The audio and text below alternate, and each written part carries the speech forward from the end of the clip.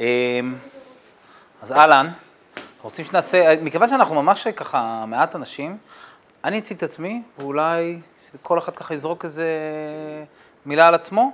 אז אה, לי קוראים ניר הירשמן, אמ, אני בעלים של משרד יחסי ציבור, שמתעסק בעיקר בטכנולוגיה ובמאבקים ציבוריים. אמ, לפני כן הייתי במשך אה, כמעט ארבע שנים הייתי יועץ שר, גם במסגרת התפקיד שלי כיועץ שר התעסקתי בטכנולוגיה ואינטרנט, עבדתי עם אה, מיקי איתן, ולפני זה הייתי דובר ועדת החינוך של הכנסת, ודי הרבה שנים בעסק, והיום אנחנו קצת נדבר על אסטרטגיות יחסי ציבור לסטארט-אפים. אז נתחיל לעשות ככה איזשהו סיבוב היכרות קצר, גדי? גדי רושן, אני co-founder ב-Wave, שגריר בשגרירות הביטקוין. ופעיל באופן כללי בעולם הזה. איתי זך, גם אה, מגיע מהשגרירות בגדול, ממייסדיה. אה, גם פעיל בביטקוין, שותף לחלום של סשה מימיו הראשונים, מאוד שמח שזה קרה מאור לגידים. אה, זהו, עד פה. אני בועז דסם, עורך דין. התחום שאני, אני עורך דין עצמאי, התחום שהתמחיתי בו בשנים האחרונות הוא קשור בתחום האנרגיה. אה, הרבה דברים שקשורים להסכמים של אה, גז, אנרגיות מתחדשות, אה, חיפוש, הפקה, חשמל. זהו, היום עובד כעצמאי, גם כמובן מהצד של חברות ופיתוח עסקי. אני עופר בייגל, יש לי בלוג על ביטקוין. זהו, בוא ניתן לנושא, בעיקר מעניין גם לשמוע קצת על הנושא היותר שיווקי כאן, של איך להוציא את המסר. זמן בוטשמן, כאנליסט באג'נסי. אבל יש כמה רעיונות ליוזמות כאלה ואחרות, וגם שמעתי פה על המקום החדש, אז לראות מה קורה, איך קורה, וגם לשמוע מאוד מעניין מה שאתה הולך להציע. שמי צבי אברהם, אני עובד בחברה בשם צדייטה. המטרה שלנו היא להפוך נתונים כסף, דולרים, שקלים, ביטקוינים, לא משנה, העיקר משהו שיש לו ערך. אני אחרון חביב, אה, זה לא השם שלי, אמין הנס, אה, אני מתכנת, פרילנסר, CTO, בעבר הייתה לי חברת סטארט-אפ בתחום של ממס, לא קשור לשום דבר פה, מתעניין בביטקוין. דווקא קשור, אתה יכול לבנות מיינר כזה קטן קטן. מכנית, כן. מני, אתה צריך להציג את עצמך שכולם מכירים אותך? אני רק קובע את רק קובע. טוב.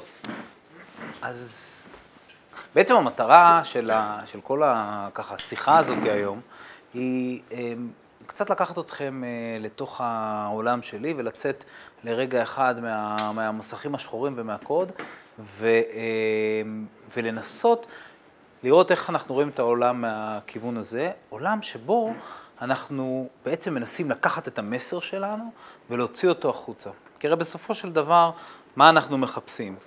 חלקנו מחפשים השקעות, חלקנו מחפשים יוזרים, חלקנו מחפשים כל מיני דברים, אבל בסופו של עניין אנחנו יודעים שאנחנו זקוקים לחשיפה הזאת. וכדי להגיע לחשיפה הזאת, כדי להגיע לחשיפה הזאת, אנחנו צריכים לעשות סדרה של צעדים, ואני קצת אעבור איתכם על איך אנחנו, על איך אנחנו בעצם אה, עושים את זה. אהלן, אני ניר, בוא תצטרף אלינו. אז הדבר הראשון בעצם שאנחנו אה, רוצים לעשות כשאנחנו מגיעים אה, אל תוך העניין הזה של חשיפה, מה אנחנו בעצם מחפשים? אנחנו מחפשים כתבות, אנחנו מחפשים רעיונות וכן הלאה. אז השאלה היא, זה איך אנחנו בעצם עושים את זה. למישהו יש איזשהו סוג של רעיון? איך אנחנו יוצרים חשיפה לסטארט-אפ? צריך סיפור טוב. אוקיי, ואז יש לי סיפור טוב, ומה אני עושה איתו? פרס ריליס. בגדול יש שתי שיטות, גורילה ולפי האפיקים המקובלים או גורילה. גורילה זה צריך לעשות, משהו יצירתי לגמרי, צריך איכשהו לגרום, זה כמו ויירל, כמו שיש חברות חברות אה, פרסום שמציירות כאילו וידאו אמיתי כזה, הבנתי. מה, עוד רעיונות? הסוג השני שהוא דיבר עליו, זה ללכת ולקנות... אה, קנייה של מדיה. קנייה של מדיה. אז אני רוצה לבוא ולטעון שאפשר לקבל פרסום בכל שלב. אבל תמיד השאלה היא, האם הפרסום הוא פרסום טוב? כי תחשבו על זה בצורה מאוד מאוד פשוטה. מישהו זוכר כאן את אה, אה, קוני 2012? קוני 2012, אה, סיפור, אה, אה, סרט שרץ ביוטיוב. והיה ויראלי בצורה בלתי רגילה. הסרט הזה דיבר על ג'וזף קוני, איזשהו פושע מלחמה מאפריקה. הדבר הזה הופץ באמת ברחבי העולם באיזושהי אסטרטגיה מאוד מאוד מאוד נחמדה, אבל מיד אחרי שהסרטון הזה הופץ, הופצה עוד ידיעה, שהמפיק של קוני 2012 התפשט עירום והריע ליד ביתו בלוס אנג'לס ורץ ככה ברחוב. עכשיו, הדבר הזה קיבל פחות או יותר פרסום, כמו קוני 2012. עכשיו, קוני 2012 היה אחלה של דבר, אבל לצורך העניין, אני לא ממש בטוח שהיוצרים של קוני 2012 רצו שהדבר הזה יתפרסם, אני לא בטוח שזה מאוד עזר לארגון שלהם. מה שאני בעצם מנסה לטעון, זה שהצעד הראשון שלנו בדרך לחשיפה, זה להבין מהם המטרות שלנו. אז דבר ראשון, אנחנו בעצם מנסים להבין מהם מטרות החשיפה שלנו. הרעיון המרכזי הוא לדעת מה אנחנו מחפשים. האם אנחנו מחפשים חשיפה בשלב הראשון בשביל להביא אנשים אלינו? האם אנחנו צריכים, אנחנו צריכים לכוון את המטרה של החשיפה, מכיוון שבסופו של עניין, מה שאנחנו מחפשים, אנחנו מחפשים את החפיפה בין הרצונות שלנו לרצונות של העיתונאים. מה ההבדל בעצם בין יחסי ציבור לבין פרסום? בפרסום, כמו שאמרנו מקודם, האפשרות הזאת היא לקנות מדיה. בפרסום אנחנו באים ואנחנו קונים עמוד בעיתון, אנחנו קונים הודעה בגוגל, אנחנו קונים כל מיני דברים. ברגע שאנחנו קונים את הדבר הזה, אנחנו רושמים שם את כל מה שאנחנו רוצים. ביחסי ציבור זה טיפה שונה. ביחסי ציבור אנחנו מחפשים את מפגש האינטרסים בינינו לבין הכתבים. אנחנו אף פעם לא משלמים על כתבה. אנחנו תמיד מחפשים לראות מה מעניין את כלי התקשורת, כי בסופו של דבר אנחנו רוצים לרכב על הגב שלהם. אנחנו רוצים להשתמש בפרסום שלהם, אנחנו רוצים להשתמש בתהודה שלהם, ובשביל זה אנחנו צריכים להבין מה מעניין אותם. אבל לא כל מה שמעניין אותם יעניין גם אותנו. עיין ערך, אותו מפיק של, של קוני 2012 שרץ ערום, מאוד עניין את התקשורת, אבל לא עניין את המפיקים. אז הדבר השני בעצם שאנחנו מנסים לחפש ומנסים להבין, זה מיהו קהל היעד שלנו. את מי אנחנו מחפשים לעניין, אוקיי? האם אנחנו מחפשים לעניין uh, VCs? האם אנחנו מחפשים לעניין uh, משקיעים פרטיים? האם אנחנו מחפשים לעניין uh, users? האם אנחנו מחפשים לעניין גופים גדולים יותר? כל דבר כזה בעצם מתווה את הכיוון של החשיפה שלנו. כי הרי תנסו, uh, תנסו לחשוב על זה. לצורך העניין, אם אנחנו רק מנסים להסתכל על התקשורת הישראלית, אז אם אנחנו היינו רוצים להגיע ל-VCs או למשקיעים אה, פרטיים, אנחנו לא נלך, אנחנו יכולים ללכת לישראל היום, אבל סביר להניח שאנחנו נכוון לגלובס, נכון? אוקיי? בתקשורת הישראלית, אם אנחנו קצת, אה, אם אנחנו קצת נפתח את זה, אז יש לנו סדרה ארוכה של אה, סוגים של כלי תקשורת. יש לנו את ידיעות אחרונות, שמגיע לכל בית ובית, יש לנו את מעריב, שכבר לא מגיע לשום מקום, יש לנו את הארץ, שמה שמעניין בהארץ זה שהוא נוסע יחד עם דה מרקר. דה מרקר, פחות או יותר החשיפה שלו היא בסביבות ה-6 6 אה, אה, חשיפה, אבל זה נחשף לקבוצה של אנשים שמתעניינת בכלכלה. זה מעניין אותנו, יש לנו, איזושהי, יש לנו איזשהו אה, רצון לתפוס את האנשים האלה. גלובס, כמו שדיברנו עליו מקודם, גלובס זה התקשורת של המאיון. בנקים, אתם, בנקאים, אתם תראו שקוראים גלובס. נשים שמחשיבים את עצמם אנשי עסקים, הם יקראו גלובס.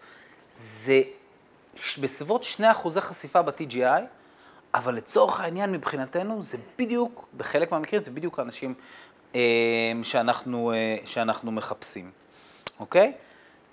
אז הרעיון, הדבר השני, אחרי שגיבשנו את המטרות שלנו והבנו למי אנחנו הולכים, הרעיון הוא זה להבין מי קהל היעד שלנו.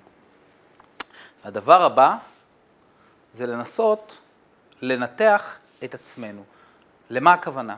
תשמעו, בסופו של עניין, הרי אמרנו שכל העניין הזה של, אה, כל העניין הזה של יחסי ציבור הוא לנסות להבין את עצמנו, לראות מה טוב אצלנו, מה יפה אצלנו, מה נכון אצלנו, איפה הסיפור המיוחד שלנו, ואת הסיפור המיוחד הזה להביא לכתבים. וברגע שאנחנו מצליחים להביא את הסיפור המיוחד הזה לכתבים, אנחנו נצליח להביא את זה לתקשורת. ואיך אנחנו עושים את זה? אנחנו מנתחים את זה. אז הכנתי לפניכם קטע וידאו קצר שאני וחברים הכנו. סתם, אני צוחק, לא באמת, הכנתי את זה עם חברים. סיליקון וואלי, כולם מכירים? רגע.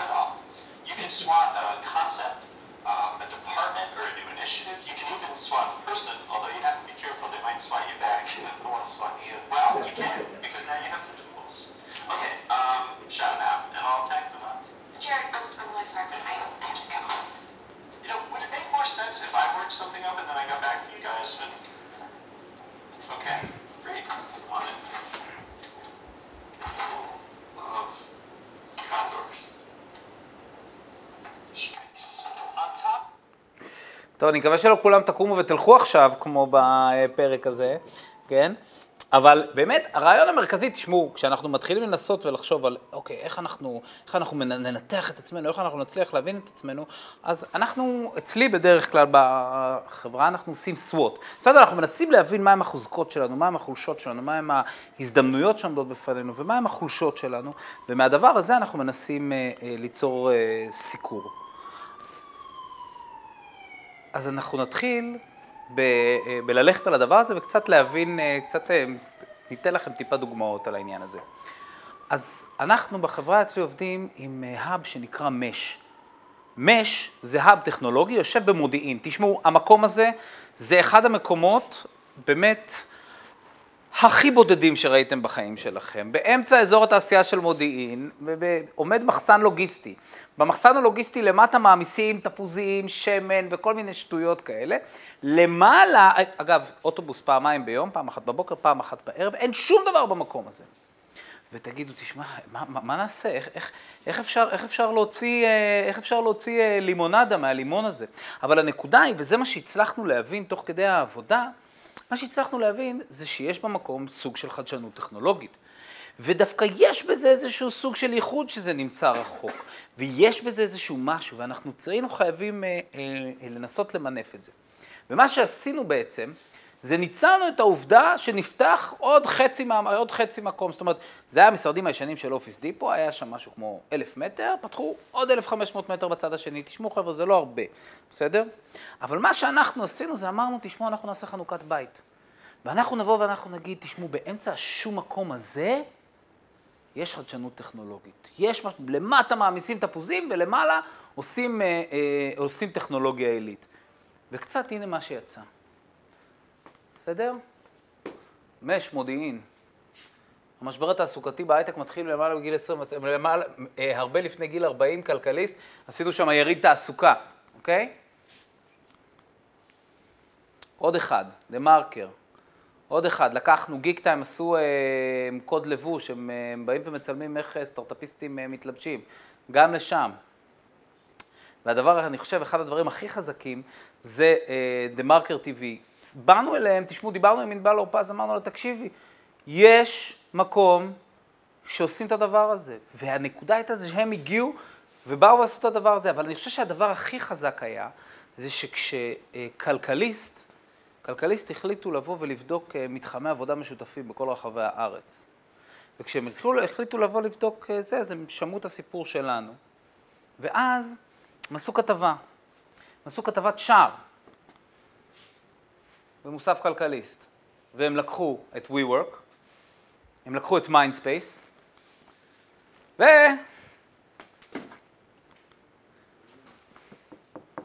הם לקחו את המקום הקטנצ'יק הזה במודיעין. תבינו, בסופו של עניין, מה שאנחנו הצלחנו למצוא בדבר הזה, זה למצוא את החלק החזק בעניין הזה.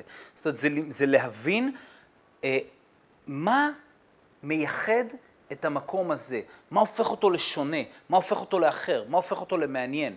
לקחנו איזושהי נקודה קצת ציונית, קצת ערכית, ואמרנו להם, תקשיבו, הנה, לא רק בתוך המרכז, אפשר לעשות משהו שהוא משהו אחר, ובעצם לקחנו את הלימון הזה של המרחק ושל זה, והפכנו אותו ללימונדה, כי יש כאן משהו אחר, יש כאן משהו שונה, יש כאן משהו מעניין. וכשאנחנו מתחילים את הניתוח סורות הזה על כל אחד מהסטארט-אפים שלכם, הדבר הכי חשוב זה להתחיל להבין מהם החוזקות שלכם. כי תשמעו, בסופו של עניין, המודל הזה הוא נורא נורא נורא פשוט. כי אה, אנחנו יודעים במה אנחנו חזקים, במה אנחנו חלשים, מה מה זה שלנו. אבל ברגע שאתה יושב ומתחיל לכתוב את זה, ברגע שאתה יושב ומנסה להבין את עצמך, כל מיני דברים שהתייחסת אליהם כמובנים מאליהם, פתאום אתה מצליח, אתה יכול להיכנס, זה בסדר, אנחנו לא נשכים. אה, אתה יכול להתחיל להבין עם מה אתה יכול לצאת החוצה. הדבר הבא, הדבר הבא זה חולשות. אנחנו חייבים להתעסק עם החולשות שלנו, בסדר? הרי יש לנו דברים שהם בעייתיים. והדוגמה הבאה זה לא דוגמה שאני עשיתי, אבל זה איזשהו אה, מקרה שבו אמרתי לעצמי, בואנה, מי שעשה את זה פשוט, אה, פשוט היה גאון. תחשבו על אפליקציה שלא עושה כלום. תחשבו על אפליקציה שלא עושה שום דבר, ואתה רוצה לעשות סביבה רעש תקשורתי. אתה מרגיש שאתה חייב להמשיך לגייס כסף לקרן שלך, אתה חייב להמשיך לעשות, אה, להמשיך להכניס אה, כסף לתוך המיזמים שלך, אתה חייב להמשיך לרכב על הגל, ואתה מחפש לעצמך משהו, איזשהו משהו שיכול להעלות אותך, אבל, ויש לך איזושהי אפליקציה ביד, אבל תכלס, היא לא עושה שום דבר. כולם מכירים את יואו, נכון? כולם מכירים את יואו. כן, נכון, פרצו אותם, עשו להם, עשו להם הרבה דברים, בסדר? אבל אני רק רוצה לדבר איתכם על השלב הראשון. תבינו, זה מושיקו חוגג, מושיקו חוגג הקים את מובלי, הטיס מטוס מעל אה, זה של אה, פייסבוק, הוציא הודעות של ליאונרדו דיקפריו וקרלוס סלים אה, השקיעו בו. אגב, אחר כך גם כן, זה, היה דיבור על זה שבכלל דיקפריו לא השקיע, וכן השקיע וכן הלאה, אבל את השטות הזאת הוא מוציא, ויש להם, להם משהו מאוד מאוד מאוד חלש, זה חולשה שהיא לא עושה שום דבר. אבל הם אומרים לעצמם, בואו ננסה להתמודד עם החולשה הזאת, ובואו נהפוך שוב פעם את הלימון הספציפי הזה ללימונדה. ומה הם עושים? תראו. הם אומרים, תשמעו, זה באמת לא עושה כלום. אבל, עם כמה שזה לא עושה כלום, זה גייס מיליון דולר. וואו, יו one, one million bucks, אוקיי? אוקיי? אנשים, אנשים השקיעו מיליון דולר באפליקציה שרק אומרת יו. אה, וכן הלאה וכן הלאה וכן הלאה, בסדר? הם התמודדו לחלוטין, לחלוטין, לחלוטין, עם, ה, אה, עם, ה, עם החולשה הזאת.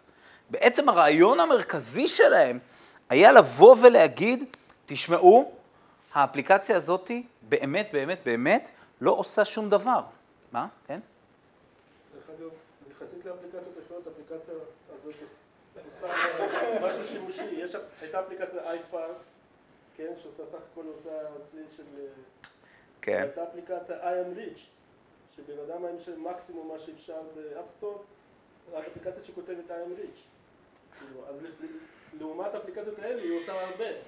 כן, אבל מה שמגניב, מה שמגניב, אני חושב שהנקודה, אני חושב שהנקודה המרכזית שצריך להתעסק איתה, אם אנחנו מדברים על uh, יחסי ציבור, אז אנחנו אומרים, תשמעו, כשהם ישבו והם אמרו לעצמם, שישבו במשרדים של אה, מובלי, סינגולריטי, אני לא יודע איך הם קוראים לעצמם, הם אמרו, תשמעו, אנחנו אין לנו שום דבר ביד, יש לנו כאן חולשה מאוד מאוד מרכזית, וההודעה שתפסה, ההודעה לתקשורת שתפסה, זה העובדה שהאפליקציה שלא עושה שום דבר גייסה מיליון דולר.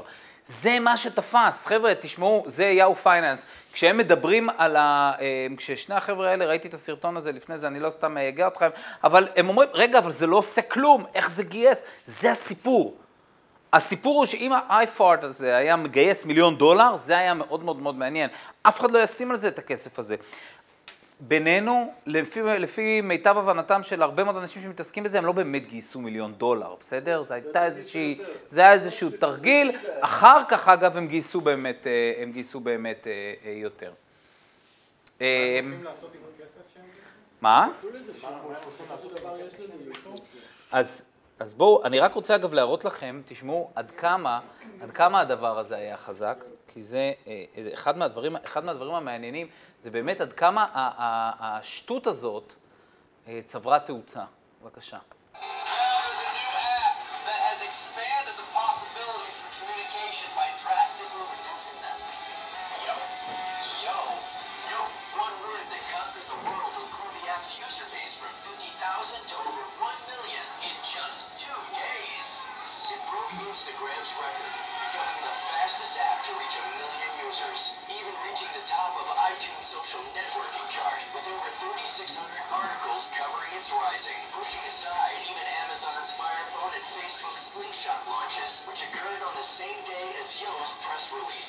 עכשיו, מה שמגניב בסיפור הזה, תשמעו, הם אומרים, תשמעו, הרי השיקו אז את הסמארטפון אה, של, אה, את, את Slingshot של פייסבוק, והשיקו את, את הסמארטפון של אה, אמזון.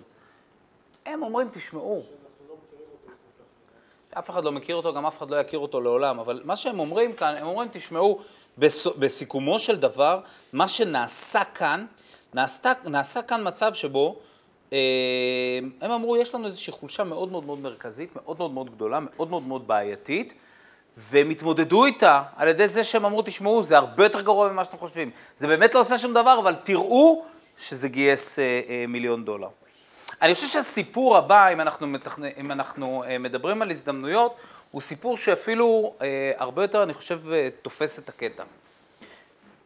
אחד מהדברים ביחסי ציבור זה לנסות ולהבין מה עומד לפנינו, על מה, על מה השיח הציבורי. תחשבו על זה שאתמול, אם הייתה לנו אפליקציה שעוסקת במזג אוויר, היה כדאי לנו להתחיל לדבר עליה. תמיד אנחנו צריכים להתחיל לשאול את עצמנו כמה שאלות כשאנחנו באים להשקה של סטארט-אפ. אנחנו צריכים לשאול את עצמנו, האם עומד לקרות משהו גדול שקשור אלינו? האם אנחנו הולכים לקבל השקעה? האם אנחנו, מישהו חשוב הולך להצטרף אלינו? אנחנו צריכים לשאול את עצמנו מה סדר היום הציבורי, במה אנשים מתעסקים. מה הדבר שיגרום לנו להיכנס לתקשורת שלא יהיה שם מחר? והסיפור הבא הוא סיפור על אפליקציה שנקראת Waze, כולנו מכירים את Waze. Waze, כפי שכולם יודעים, התחילה בישראל והתחילה את היציאה שלה לחו"ל בסביבות ה-2009-2010. ב-2011 הם כבר התחילו להיכנס לערים מרכזיות בארצות הברית, אבל לא הייתה להם תפיסה מהותית של, אה, של נתח שוק. וזה היה מאוד מאוד בעייתי בשבילם, כי הם לא הצליחו לעשות את הזינוק הזה. אבל אז קרה דבר מאוד מאוד מאוד מעניין. תשמעו, בלוס אנג'לס, אני לא הייתי בלוס אנג'לס, אבל אני קראתי לפני ההרצאה, יש כביש שנקרא 405. מי היה בלוס אנג'לס? מכיר את הכביש? אף אחד? לא משנה. כביש מאוד מאוד מאוד גדול ומסיבי. הכביש הזה נסגר ביולי אה, 2011 אה, לצורך אה, שיפוצים. זה היה כל כך בלגן, זה כמו עבודות הרכבת, הרכבת, אה, הרכבת הקלה כאן. זה היה כל כך אה, בלגן שהאמריקאים כינו את זה קרמגדון. אז מה עשו על משקל ארמגדון, בסדר? אז מה עשו בווייז? דבר ראשון, מה שהם עשו, הם אמרו לעצמם, תשמעו, זה ההזדמנות שלנו. זה ההזדמנות שלנו לפרוץ. והם פנו לכל רשתות הטלוויזיה והם אמרו, תשמעו, אנחנו, אה, אנחנו יותר חכמים מהתנועה. הם עשו אייקון של אגרוף כזה, והם אמרו, הם קראו לזה uh, joint resistance, אוקיי? ותראו uh, מה, uh, מה יצא מהדבר הזה, בסדר? סדרה ענקית של כתבות, עכשיו תבין, זה LA, בסדר? לצורך העניין, אנחנו מבינים עד כמה אנשים מובילי דעת קהל ומשפיעים נמצאים ב-LA ועד כמה מהם משפיע, אה, מושפעים מהבלגן הזה, ואתם רואים שכל התקשורת העולמית נכנסה לדבר הזה. כשאתה פותח את הוידאו, אם אתה רואה, שאתה רואה את נועם ברדין אה, מקריא אה, דיווחי תנועה בכל מיני תחנות בת של ABC. כי הרעיון המרכזי שלהם היה לבוא ולהגיד דבר כזה, תשמעו, יש כרגע משהו שקורה במציאות. והמשהו הזה שקורה במציאות, אנחנו צריכים לנצל אותו. אנחנו צריכים לתפוס אותו, כי מחר הוא כבר לא יהיה. תבינו, אם ווייז בטעות, לא יודע, היו מחליטים אה, לעדכן גרסה והיו נופלים באותו היום הספציפי של סגירת הכביש, חבל על הזמן. אבל מכיוון שהם ידעו לנצל את ההזדמנות הזאת, הם, הם מדברים על זה כקפיצה הגדולה שלהם. זאת אומרת, כמקום שבו הם, אה, אה, שהם מדברים על כמעט מיליון הורדות בגלל הסיפור הזה, ומדברים באמת על הקפיצה הענקית שלהם שהם עשו בזכות הדבר הזה. עכשיו, הדבר הזה הוא ניצול של הזדמנות, הוא הבנה שיש לך משהו שמדבר על השיח הציבורי. עכשיו, כשאנחנו מתבוננים לתוך עצמנו, תשמעו, לא תמיד אנחנו יכולים להבין מה תופס את זה, אבל למשל בסיפור של ביטקוין, אנחנו יכולים לדבר על התמוטטות הכלכלה ביוון. כי התמוטטות הכלכלה ביוון, אל תשכחו שלפני מספר אה, שבועות, אה, כבר כמעט חודשים, לפני מספר חודשים, דיברו על זה שכלכלת יוון עשויה לעבור לביטקוין, דיברו על הצבת אה, כספומטים של ביטקוין. אם אנחנו מדברים על ביטקוין, אנחנו יכולים לדבר על זה שביטקוין שבר את אה, מחסום ה-280 דולר, או את העובדה שבית משפט העליון באירופה החליט אה, שביטקוין יהיה נטול אה, מע"מ. שמישהו יתקן אותי אם אני טעיתי פה במשהו, אבל לצורך העניין כל הזמן קורה משהו בעולם שהוא מאוד מאוד רלוונטי. עכשיו לפעמים נופל לך כזה בינגו, לפעמים לא נופל לך כזה בינגו, אבל הרעיון הוא זה לנסות לתפוס את ההזדמנויות האלה. אני חושב שהדבר הבא שאנחנו צריכים לדבר עליו, אנחנו ככה נהיה קצת לקראת הסוף ונדבר נדבר גם על כל הנושא של אייטמים. אה, אתה רוצה לשאול משהו ספציפי? כן, יש פה משהו מעניין, שבדרך כלל היום, היזמים של היום, לא, לא יחשבו על סינט, או כל האתרים הישנים האלה של. אה, אני, אני, אגיד לך מה קורה, אני אגיד לך מה קורה, תשמע, למשל, אה, זו הייתה חדשה כל כך גדולה, שגם האתרים, ה- אה, שגם האתרים הכבדים יותר, גם רשתות הטלוויזיה, גם הרדיו, תשמע, הבן אדם הקריא דיווחי תנועה, בסדר? כן, הקריא דיווחי תנועה, הבן אדם עמד, הקריא דיווחי תנועה, זה קטע די אה, מטורף. טוב, בואו נלך, ה- בוא נלך על הדבר האחרון, והדבר האחרון אה, זה איומים, ואנחנו נדבר טיפה, אה, ואנחנו נדבר טיפה על איך אנחנו מתמודדים עם איומים. תשמעו, בסופו של עניין, תמיד יש לנו איזשהו מתחרה שיצוץ. תמיד יש לנו איזושהי בעיה באפליקציה. תמיד יש לנו אנשים שיש להם איזושהי ביקורת. עכשיו, אנחנו יכולים לה- לה- להחזיק, להחזיק את המקל, אנחנו יכולים להתייחס לדבר הזה בשתי צורות. אנחנו יכולים להתעלם מזה, שזה אגב מה שרוב האנשים עושים. הם קצת חוטפים על זה, אבל זה מה שרוב האנשים עושים את זה, ואנחנו יכולים לטפל בעניין הזה. והסיפור הבא שאני רוצה לדבר איתכם עליו, זה על אה, משהו שקרה ממש אתמול, אוקיי? אה, חברת everything.me, כולנו מכירים אותה, ישבה פה בבית קרדן, אה, אחרי שגייסה 39 מיליון דולר,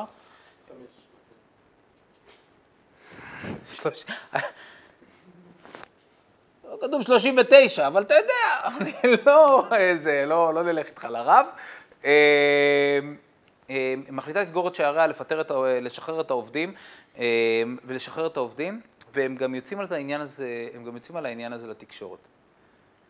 עכשיו, אני כשראיתי את הדבר הזה בהתחלה לא כל כך הבנתי, אבל אני חושב שדי מהר הבנתי מה הם עשו.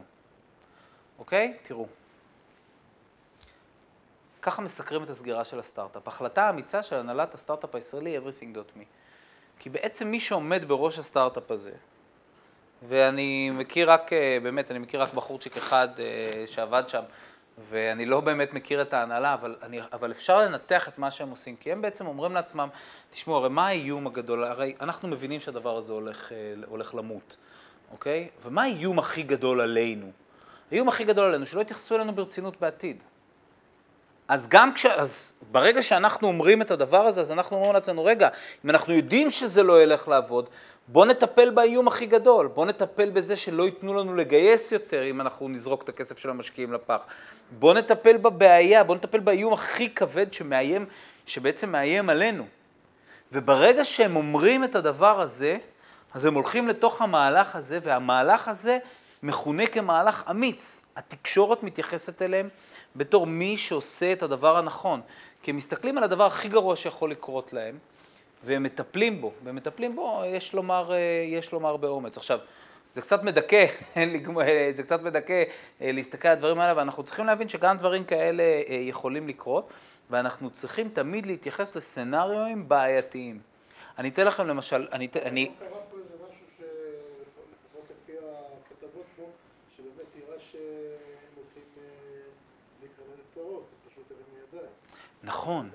נכון, אבל תחשוב על, תחשוב על ניתוח האיומים שלהם מבחינת יחסי ציבור, של היזמים. הוא אומר לעצמו, אני יש לי תדמית. אני רוצה בעתיד לגייס עוד פעם. אני יודע שהדבר הזה הולך למות. עכשיו, מה אני יכול לעשות? אני יכול לשבת עוד שנתיים, שלוש, לבזבז את הכסף של המשקיעים, להעביר את הכסף לכל מיני מקומות ולגמור רע.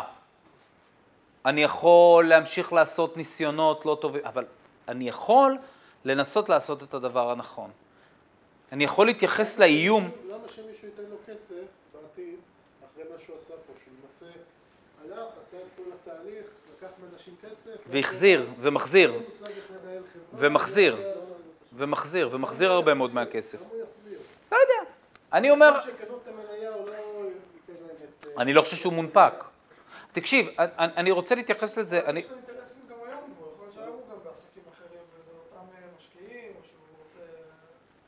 לסיים איתם בדרך יפה, מקריב אחד.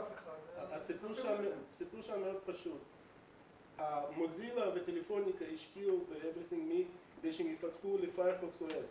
ברגע שהם עשו פיבוט לאנדרואיד, מוזילה וטלפוניקה כבר לא רוצים לעבוד איתם, זה- זה הסיפור, זה לא משהו אחר. בסדר, אבל אה, זה, אני, אני מקבל את כל הדברים, אני מקבל ואני חושב שזה, אני חושב שזה דברים חכמים ונכונים מה שאתם אומרים. אני מסתכל על זה מנקודת המבט התקשורתית. זאת אומרת, אתה בא ואתה מנתח את המציאות שלפניך, ואתה אומר, מה מאיים עליי? מה הדבר הכי גרוע שיכול לקרות לי? או מה הדבר שסביר להניח שהוא גרוע שיכול לקרות לי? והדבר שסביר להניח שגרוע שיכול לקרות לי, שהסטארט-אפ שלי יתמוטט. עכשיו, אני יכול להתעלם מזה, אני יכול להגיד, לא, אני אצליח, לא, חודש הבא, לא זה, ואני יכול להגיב לזה, אני יכול לעבוד על פי זה. אגב, בתרחישים למשל של, אה, של אה, אתם יודעים מה, אני אתן לכם אה, דוגמה כל נוספת. הכבוד, אה, 90 פלוס מתוך 100 סטארט-אפים. כן, זה נכון, אבל אני אתן לכם דוגמה, עוד דוגמה, עוד דוגמה להתייחסות. אותי להתייחס לזה ככה. אני אתן לכם עוד דוגמה להתייחסות לנושא של, אה, לנושא של איומים. אה, אני הצגתי את, ב-2013 נפלו כל שרתי האינטרנט של הממשלה, שרתי האינטרנט החיצוניים, זאת אומרת לא מערכות המחשוב אלא האתרים החיצוניים, אבל לצורך העניין, מה שקרה, מה ש... עכשיו, לצורך העניין מה שקרה זה שהאתר של המוסד לא היה זמין, האתר של השב"כ לא היה זמין, האתר של רשות המיסים, מבחינת התקשורת, מדובר היה בזה שכל מערכות המחשוב של הממשלה נפלו, כי הם לא יכולים להסתכל לתוך מערכות המחשוב, זה לא כאילו, אנחנו כולנו יודעים שזה כאילו מישהו עשה גרפיטי על החלון ראווה או שבר אותו, זה לא נעים, אבל זה לא אומר שגנבו את כל המחסן, בסדר? זה לא אותה אה, בעיה, ובניתוח, ובעצם מה שאמרו לי, כשאני נכנסתי, אני השר שעבדתי אצלו אז, אמר לי, קדימה, ניר, לך תטפל במשבר הזה, תטפל בהתלקחות הזאת, בבעיה הזאת. ואני נכנס לחדר, אני נכנס לחדר עם כל המומחים של IBM ועם המנהלים של ממשל זמין וכן הלאה, והם אומרים, תוך שעה אנחנו עולים בחזרה לאוויר. אין עם מי לדבר, אין מה לדבר, לא צריך, לא זה. אמרתי להם, תגידו, מה הסיכוי שאתם לא עולים תוך שעה לאוויר? אמרו, אה, יש סיכוי, אבל זה לא משנה, אין מה לדבר עם אף אחד. אמרתי להם, תקשיבו, חבר'ה, הדבר הכי חשוב עכשיו זה להגיב לזה שיש סיכוי שעוד שעה לא תעלו לאוויר. אתם חייבים להתחיל לדבר עם העיתונאים, להגיד להם, תשמעו, אנחנו מטפלים בתקלה. אין בעיות נוספות, בדקנו שלא פרצו לנו. אנחנו, הדבר הזה הוא סך הכל חלון ראווה ש... אה, שנופץ. אנחנו, כי אם אתם באמת תעלו תוך שעה לאוויר, אז לא יקרה כלום, הכל בסדר, אף אחד לא יסקר את זה. אבל לצורך העניין, אם לא תעלו, תהיה לכם בעיה. חבר'ה, לקח להם עוד 24 שעות להעלות את, ה... אה, להעלות את האתרים. לקח להם עוד 24 שעות. ולמה זה לקח להם עוד 24 שעות? כי זה, זה דברים שעלולים לקרות. ואנחנו צריכים, לה... והנקודה היא זה גם להתייחס לתרחישים שהם קצת, קצת יותר, יותר בעייתיים. אחרי שאנחנו, אחרי שאנחנו עושים את הניתוח הזה ומצליחים להבין במה אנחנו חזקים, במה אנחנו חלשים, מהם ההזדמנויות שעומדות בפנינו ומהם האיומים, מהם הדברים שהם בעייתיים עבורנו, אנחנו צריכים לפרק את הדבר הזה לאייטמים. ואייטמים זה אותם הסיפורים הקטנים האלה, זה אותם הדברים שאנחנו יכולים uh, להציע לתקשורת. אני אתן לכם דוגמה אגב, לסיפור כזה, הנה יושב כאן גדי, עבדנו על העניין שלו בסוף שבוע, לגדי סגר הסכם עם ברקליס העולמית. הסכם שאמור לקחת את הסטארט-אפ שלו למקום חדש, זה אייטם, כי קרה משהו חדש בעולם, כי קרה משהו אחר בעולם. כי משהו השתנה וזה יכול להיות מאוד מאוד מאוד מעניין. אז אנחנו מפרקים בעצם את, ה, אנחנו מפרקים בעצם את כל הדברים האלה לאייטמים. וברגע שאנחנו מפרקים את זה לאייטמים, אנחנו יכולים לצאת לדרך. והרעיון בסופו של דבר ביציאה לדרך זה יצירה של חשיפה חיובית. חשיפה חיובית שעונה על השלב הראשון של המצגת, שעונה על המטרות, שעונה על מה שאנחנו באמת באמת מחפשים להשיג מהסטארט-אפ שלנו. שאלות. מידי אייטם זה לא קשור לא כך הבנתי מה זה מידי אייטם. אנחנו, אוקיי, אז בואו אני אסביר. ברגע שאנחנו סיימנו, אוקיי, אמרנו לעצמנו, יש לנו מטרות, אוקיי? יש לנו מטרות, מטרות של חשיפה, מה אנחנו מבקשים להשיג מהחשיפה. אחרי זה אמרנו לאן אנחנו מכוונים את החשיפה, לאיזה קהל יד. אחרי זה הסתכלנו לתוך עצמנו, ניסינו להבין מה מעניין אצלנו, מה אחר אצלנו, מה שונה אצלנו, מה חדש אצלנו, ומה מאיים עלינו. את כל הדברים האלה אנחנו מפרקים לאייטמים. אנחנו לוקחים את הדברים שחדשים אצלנו, אנחנו לוקחים את הדברים שמתאימים לסדר היום, את הדברים האלה אנחנו מפרקים או להודעות לתקשורת, או לשיחות רקע עם כתבים, או למתן של סיפורים, או לטוויטים וכן הלאה, וכל דבר כזה הוא אייטם, הוא אייטם, הוא סיפור שיכול להתרגם בסופו של עניין לסיקור תקשורתי. איך אתה מנהל יש לך מערכת פרדשיט או מנ- מערכת CRM ואתה רוצה מזה קורט? כל דבר כזה? מה שאנחנו עושים זה אנחנו בדרך כלל, התקשורת היא הרבה יותר פשוטה מ- אה, מלתכנן, אה, אה, התקשורת היא הרבה יותר פשוטה מתכנות. היא גם הרבה יותר נוטה, נוטה למצבי רוח, אם אפשר...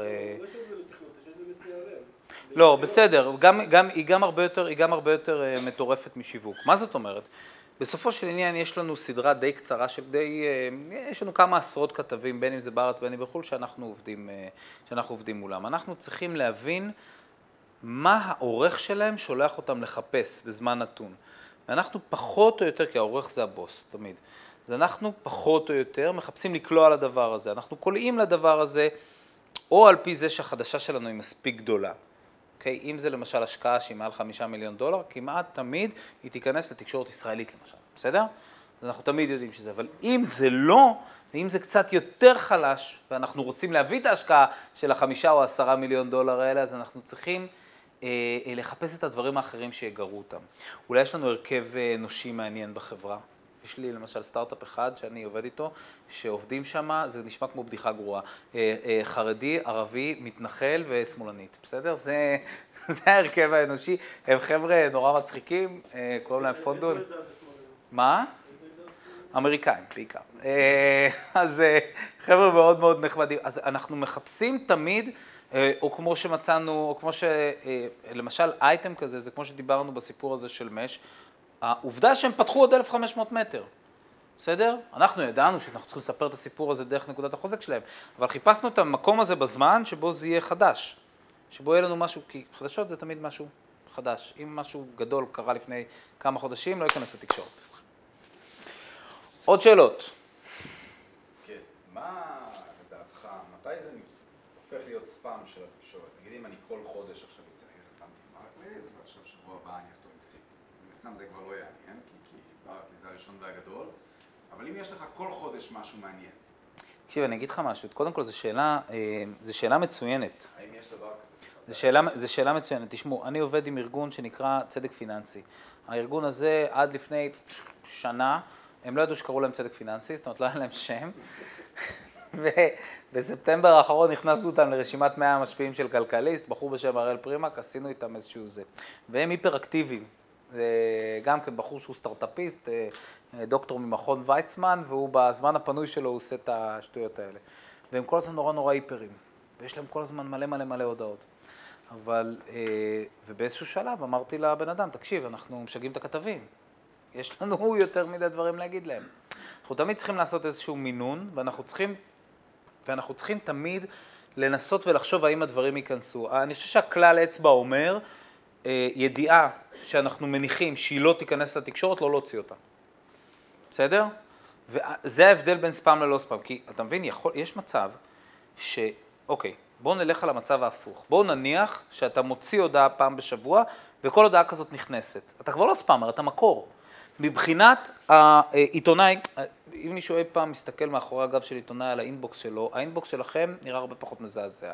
הם כל הזמן מקבלים המון המון המון המון המון הודעות לתקשורת, רק מתוך, תחשבו על כתב טכנולוגיה כזה, יש סך הכל אה, 29, נגיד 29, עכשיו ספרנו, כי היינו צריכים לעשות איזה משהו, ספרנו 30 כתבי טכנולוגיה. לעומת 4 מיליארד דולר נשפכו למדינת ישראל ב-2015 על 30 כתבי טכנולוגיה, שבינינו עשרה מהם זה המרכזיים וזהו, ותו לא. וגם כן חצי מהם זה דיגיטל וחצי מהם זה טכנולוגיה. זאת אומרת, 4 מיליארד דולר, מלא אנשים עם מלא כסף, כל היום לוחצים עליהם, וכל הזמן האינבוקס שלהם איזה... אז, הם צריכים לעשות איזשהו סוג של תעדוף. ואז הם אומרים לעצמם, טוב, הבן אדם הזה, אני יודע שהוא משגע אותי כל הזמן, אז אני פשוט לא אקשיב למה שהוא אומר. אז קודם כל זה צריך להיות כתוב טוב, הרעיון צריך להיות מובע כמו שצריך, זה צריך להיות בזמן, אבל יש גם איזשהו עניין, כמו שאמרת, שבו אני צריך לנסות ולהבין, וזה בדרך כלל עם אנשי מקצוע, אבל גם אפשר קצת אה, להתייעץ ולהבין, אני צריך לנסות ולהבין האם הידיעה הזאת יש לה ערך חדשותי גבוה. עכשיו, אני חייב להגיד לכם, תשמעו, למשל יש משהו בנושא של איגוד הביטקוין, שבאיגוד הביטקוין, אחת מהבעיות שאנחנו רוצים להתמודד איתן עכשיו, זה שכתבים בישראל לא מסקרים ביטקוין. יש אחד, קוראים לו ג'וש דוקרקר, הוא מעניין אותו ביטקוין, כל השאר לא מעניין אותם ביטקוין, וגם אותו היה קשה למצוא. אז אנחנו כן צריכים, לפחות בהתחלה, קצת יותר לדחוף. מאוד דומה למה שסיפרתי לכם על, אה, על אה, צדק פיננסי. אז אנחנו עושים את זה בצורה כזאת, ואנחנו עושים את זה בצורה אחרת, ואנחנו מודיעים על כל מיני דברים, ואנחנו מנסים לכרוך את זה באירועים עולמיים, אבל הרעיון הוא זה לנסות להביא להם משהו שבסופו של דבר יהיה להם מעניין. אם אנחנו נביא להם חומרים מעניינים, הם יבואו ויגידו, החבר'ה האלה, הסטארט-אפ הזה, ההתארגנות הזאת, המתכנתים האלה, הם חבר'ה רציניים, אני רוצה לשמוע מהם, ואז אנחנו הופכים למקור, ואנחנו מגיעים למצב שבו אנחנו מקבלים יותר ויותר ויותר סיקור, יותר ויותר ויותר נפח. כן. אה, קראתי ספר Lean Startup אה, של אריק ריס. אה, הוא טוען שחשיפה לא, לא אורגנית היא לא עוזרת בכלום. כאילו, יש לך איזה spike, נגיד ב TechCrunch כתבו עליך. אז אה, קצת, נגיד, אה, כמה אלפי אנשים הקימו אפליקציה או עשו download, ואז אה, זה חוזר להיות איך שזה היה.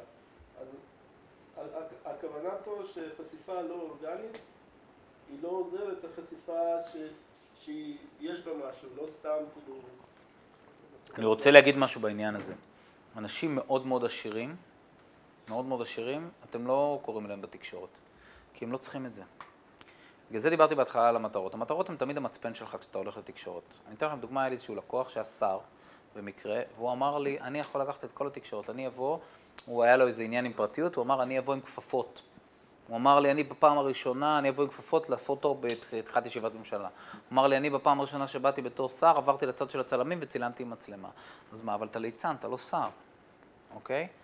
עכשיו, הרעיון הוא זה לנסות לחפש את מטרות החשיפה שלך.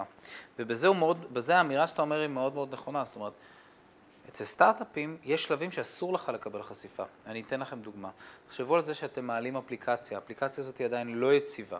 העליתם אותה ל App Store כי אמרתם נעשה קצת Friends and Family ונראה איך הדבר הזה עובד, fuck קיבלתם פרסום בכזה TechCrunch כזה, או Street Journal כזה, או משהו, או Mashable כזה.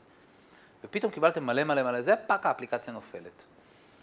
הפרס הוא בעייתי, נכון? ולכן מה, שאתם, מה שאנחנו צריכים לעשות זה אנחנו תמיד צריכים לבדוק מה המטרות החשיפה שלנו. אם אנחנו זקוקים עכשיו ליוזרים, אז אנחנו נלך למקומות ספציפיים. אם אנחנו זקוקים למשקיעים, אגב, הרבה מאוד מהסטארט-אפים שזקוקים למשקיעים, הם הולכים לתקשורת, אה, דווקא לתקשורת ישראלית. למה? כי אומרים, בתוך עמי אני יושב, יש פה מספיק אה, נציגויות של VCs עולמיים, אני, אה, אני אעשה פה הרבה רעש, זה, יהיה, זה יעבוד בשבילי.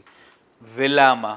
כי בסופו, כי בסופו של עניין מה שקורה זה שאני מחפש רק משקיעים, אני לא מחפש שום דבר אחר. אני לא מחפש יוזרים פה בישראל, אני מחפש משקיעים ואני יודע שהם נמצאים כאן.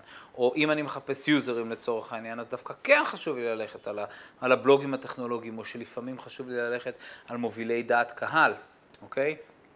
אה, מובילי דעת קהל הם לאו דווקא, הם לאו דווקא אה, עיתונאים, יכול להיות בתחום של הביטקוין, אנחנו יכולים לדבר לפעמים על, על, על, ברי, על ברי סילברט, אנחנו יכולים לדבר על, אה, אם אנחנו מדברים על, מה? למה? כי, לא, כי אני חייב להגיד לך שבתחקיר שעשיתי על זה, אז דווקא ברי סילברט, הוא הוא קפץ לנו כמי שמשפיע על קהילת הביטקוין העולמית בצורה אה, מאוד מאוד מאוד רצינית. במיוחד גם לגבי הזכייה שלהם בפעם הקודמת שהם, אה, בפעם הקודמת שמכרו את הביטקוין של סילקורד וזה, אז הוא נחשב יחסית, תקן אותי אם אני טועה, כן? הוא נחשב יחסית לגורם אה, משפיע.